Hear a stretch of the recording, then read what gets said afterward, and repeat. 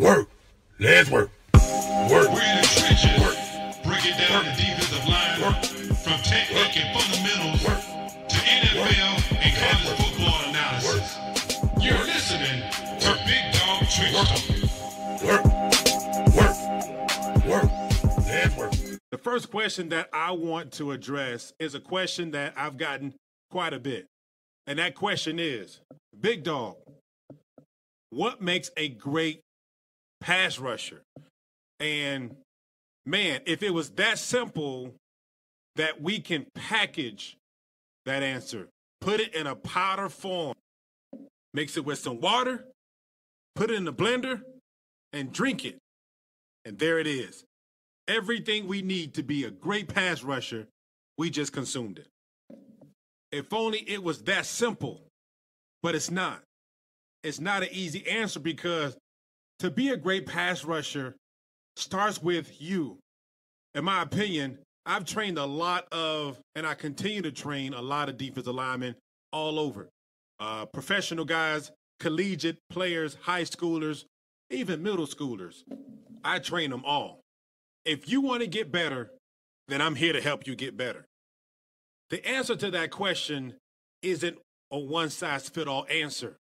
I've seen guys six five that are dominant in the NFL, college, high school, six seven.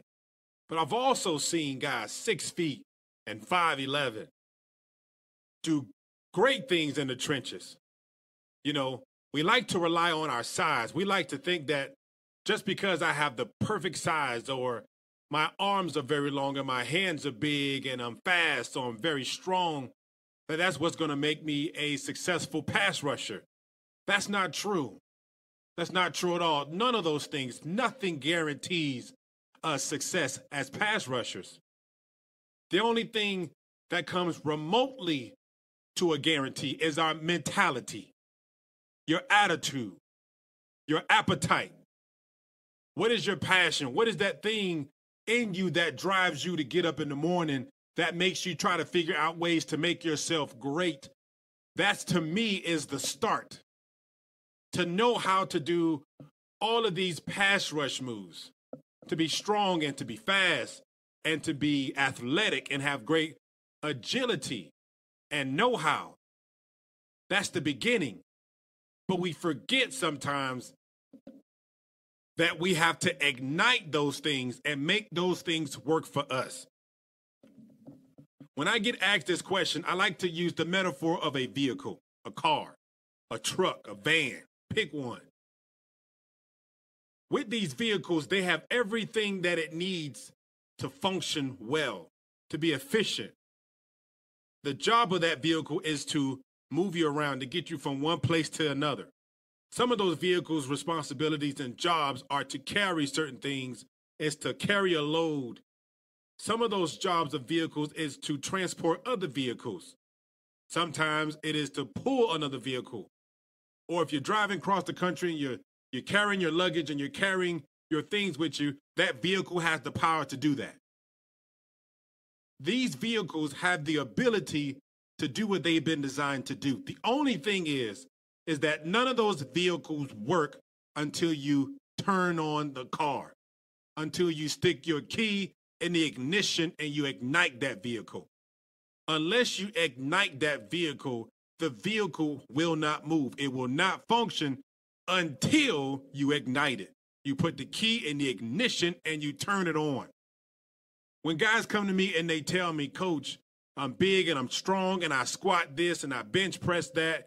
And yes, those things are important. You must be strong to play in the trenches. You must be quick and agile and flexible to play in the trenches. You must have great technique to play in the trenches. There's a lot of things that you must have. But if you don't ignite the animal in you, none of those things mean nothing. None of those things can actually help you be productive and successful if you don't ignite that animal in you, that dog in you. D A W G. Driven attitude wills greatness. You want to be a great pass rusher. You want to be a great person, a great player, uh, whatever that might be. You've got to look in the mirror and find that answer because that's where the answer is. The answer's in you, big dawg. You got to find that answer. Stop looking for what you don't have and identify what you do have and ignite what you have. I've seen vehicles with three wheels and get the job done. I've seen, we see motorcycles with two wheels and get the job done. Everybody does not have to be the same, same size, same height, same speed, same agility. We're seeing players now that are playing with one hand as opposed to two. And we say that's amazing. That's amazing. Why? Because it takes two hands to play great football, to be a great pass rusher. Says who? Of course, everybody would like to have all their limbs to be successful. However, does it mean that I can't be successful if I don't have everything that I need? Absolutely not. Because the one thing that you need to be great is within you. You have to ignite what you do have. There are some people that have everything that they need, but will not or cannot ignite what they have. Their vehicle never turns on because they're forgetting that even though you have everything in place, you have your four wheels, you have your engine, you have your exhaust pipes, you have your steering wheel, you have your uh, gasoline, you have all the functioning pieces that you need to be productive and successful. However, you're forgetting one thing, big dawg. You've got to turn the car on. You have to ignite the vehicle. You've got to ignite the animal. And part of that, part of the ability to ignite the animal in you starts with your attitude. If you take the word attitude and you give it a numerical value, that means you give it a number value for every letter. For example, A is one and B is two and C is three. But you take the word attitude, A T T I T U D E, and you give each letter a numerical value. I want you to do that, and I want you to add all the letters up in the word attitude.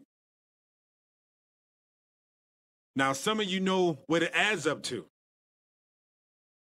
And when you do the math, big dawg, you're going to see that attitude, when you give the word a numerical value to the word attitude, it equals 100. What do you think that means?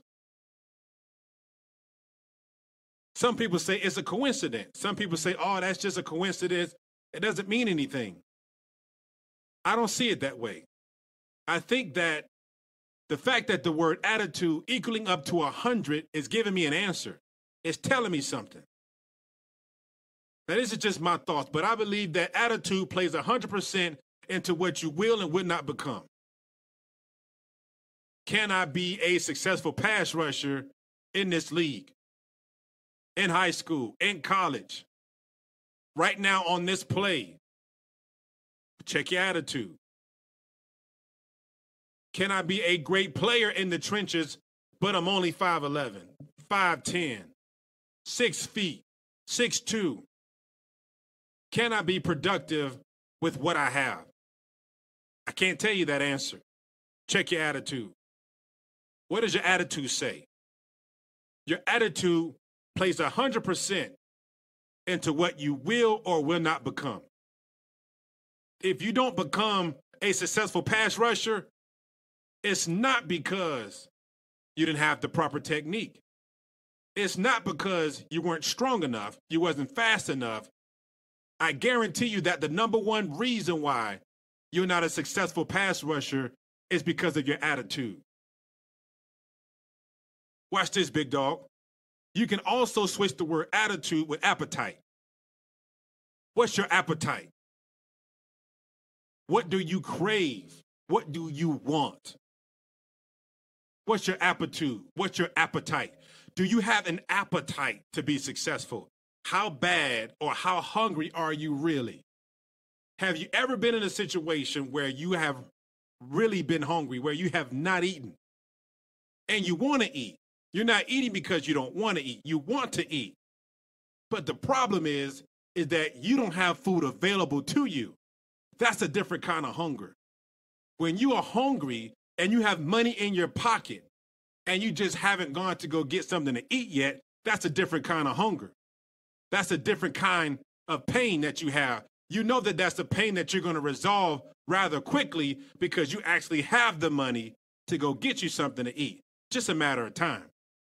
But what what happens when you're hungry and you don't have the money to eat? To go buy you something to eat. Now what? That's a different kind of hunger. Because now you are willing to do whatever it takes to make sure you eat. Well, Big Dawg, are you craving success as a pass rusher? Are you willing to do whatever it takes to eat?